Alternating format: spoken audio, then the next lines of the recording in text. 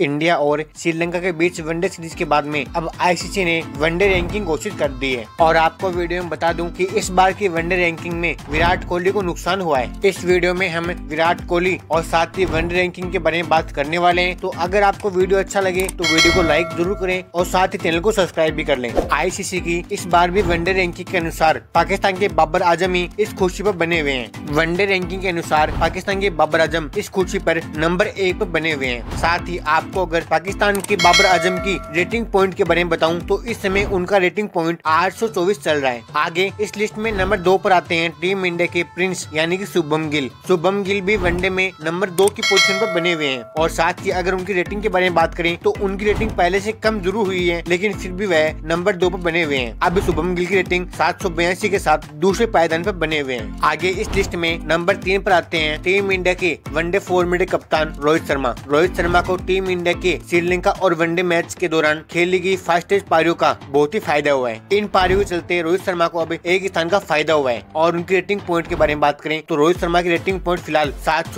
हो गई है। रोहित शर्मा के बारे में बात करें तो रोहित शर्मा इस सीरीज़ से पहले नंबर चार की पोजिशन पे थे और अब इस सीरीज़ के बाद में रोहित शर्मा को एक स्थान का फ़ायदा हुआ है और साथ ही रोहित शर्मा नंबर तीन की पोजिशन पर आ पहुँचे हैं। आगे आईसीसी के वनडे रैंकिंग के अनुसार नंबर चार की पोजिशन पर आते हैं विराट कोहली। विराट कोहली को पिछले कुछ मैचों की वजह से एक स्थान का नुकसान हुआ है। यानी कि विराट कोहली पहले जहाँ वनडे रैंकिंग में नंबर तीन पर आते थे तो उसी के साथ अब विराट कोहली नंबर चार की पोजीशन पर आते हैं। साथ ही अगर उनकी रेटिंग की बात करें तो उनकी रेटिंग घटकर अभी सात सौ बावन हो गई है। विराट कोहली पिछले कुछ मैचों से फोरम से बाहर चल रहे हैं, जिनका विराट कोहली को खामियाजा भुगतना पड़ रहा है। और साथ ही इंडिया और श्रीलंका की सीरीज़ में भी विराट कोहली कुछ भी अच्छा प्रदर्शन नहीं कर पाए। आगे आईसीसी की वनडे रैंकिंग में नंबर पाँच पर आते हैं। आयरलैंड के बल्लेबाज हैरी टेक्टर आईसीसी की वनडे रैंकिंग में इनका नाम एक चौंकाने वाला नाम है, क्योंकि आयरलैंड के बल्लेबाज आईसीसी रैंकिंग में नंबर पाँच पर आते हैं और यह दिखाता है कि यह खिलाड़ी साउथ अफ्रीका, इंग्लैंड और ऑस्ट्रेलिया की टीमों से भी बहुत ही बेहतरीन खिलाड़ी है। यानी कि जहाँ पर टॉप फाइव में ऑस्ट्रेलिया, इंग्लैंड और साउथ अफ्रीका जैसे खिलाड़ियों के नाम नहीं आते, वहाँ पर एक आयरलैंड जैसी छोटी टीम के खिलाड़ी का नाम आना बहुत बड़ी बात है। आगे अगर वनडे रैंकिंग में नंबर छह पोजिशन के बारे में बात करें तो नंबर छह की पोजिशन पर आते हैं न्यूजीलैंड के डिरेल मिचेल। डिरेल मिचेल की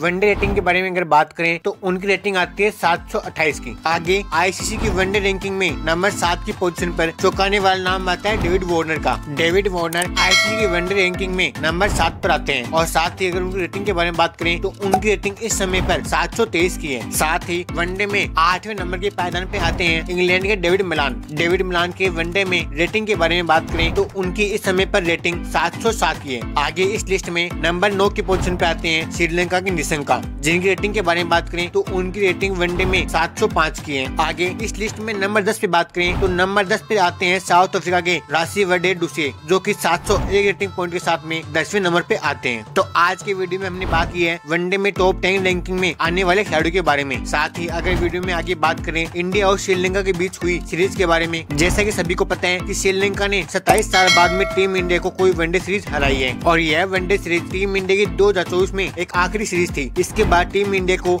2025 में ही इंग्लैंड के खिलाफ तीन मैचों की वनडे सीरीज़ खेलनी है और उसके बाद में सीधा चैंपियन ट्रॉफी खेलनी है। तो टीम इंडिया के लिए 2024 में आखिरी वनडे सीरीज़ खेलना थोड़ा नुकसानदायक होने वाला है। और इसके साथ साथ ही क्रिकेट प्रेमियों के लिए एक बहुत ही बुरी खबर है की उन्हें अगले कुछ महीनों तक मैच देखने को नहीं मिलेंगे। टीम इंडिया का अब अगस्त में कोई भी अंतर्राष्ट्रीय मुकाबला नहीं होने वाला है। साथ ही आगे आने वाले मैच के बारे में बात करें तो टीम इंडिया सितंबर में बांग्लादेश के खिलाफ वनडे और साथ ही अक्टूबर में बांग्लादेश के खिलाफ टी ट्वेंटी सीरीज़ खेलने वाली है। और जैसा कि सभी को पता है कि बांग्लादेश में इस समय पर बहुत ही हिस्सा का दौर चल रहा है, जिसका वीडियो मैंने बनाया है। तो अगर आपने वो वीडियो नहीं देखा है तो उसका लिंक आपको डिस्क्रिप्शन बॉक्स में मिल जाएगा। तो जिस तरह से बांग्लादेश में इस समय पर हिंसा चल रही है, उसको देखते हुए लगता है की सितंबर में होने वाली वनडे और टी ट्वेंटी सीरीज़ को भी निरस्त किया जा सकता है। और अगर बांग्लादेश के खिलाफ होने वाली सीरीज़ निरस्त की जाती है तो टीम इंडिया के फैंस के लिए आगे आने वाले दो महीनों में कोई भी अंतर्राष्ट्रीय मुकाबला नहीं होने वाला है। तो आज के वीडियो में बस इतना ही। अगर आपको वीडियो अच्छा लगे तो वीडियो को लाइक ज़रूर करें और साथ ही चैनल को सब्सक्राइब भी कर लें।